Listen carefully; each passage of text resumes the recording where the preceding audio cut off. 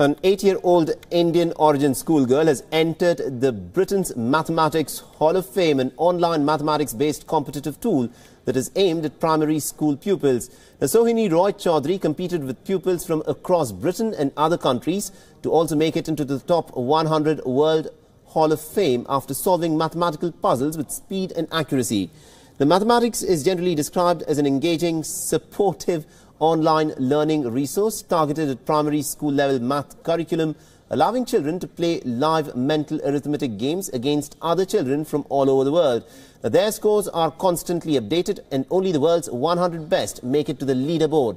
The born in New Delhi, Sohini has joined the competition last year as a student of Nelson Primary School in Birmingham. Sohini has ambitions of becoming a doctor when she grows up.